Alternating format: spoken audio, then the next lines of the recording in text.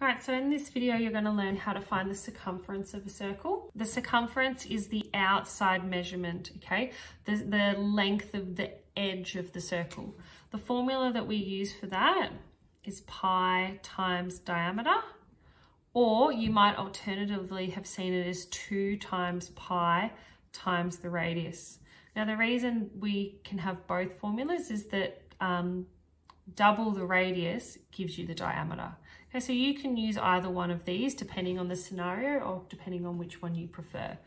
So if this circle had a radius of nine meters, I might want to use this formula because I've just been given the radius, okay? So I'm going to change that to 2 times pi times 9 and put that in my calculator.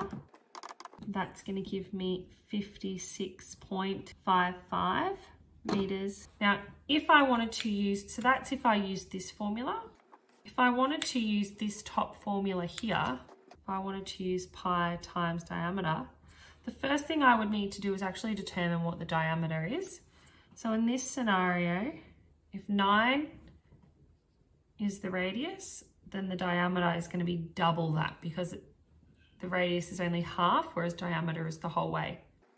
So therefore my diameter would be 18. So I could go pi times 18 is exactly the same value, 56.55 meters. Okay, so you can choose whichever formula or method suits you best. Okay, so again, the formula, you can choose whichever one you want. If I go pi times diameter, I've already been given the diameter. Okay, I can see here that the diameter is 10 and that means the radius would be 5. But for this formula, I only need the diameter. So I can go pi times 10 straight away. 31.42 meters. Now say I wanted to use the other option. Okay, say I wanted to use 2 times pi times r. What I would need to do is determine what the radius is.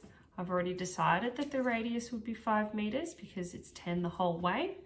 So then what I would write is two times pi times five is going to be 31.42 meters. Okay, so whichever method you choose, it's perfectly fine so long as you're putting the diameter with the diameter and the radius with the radius.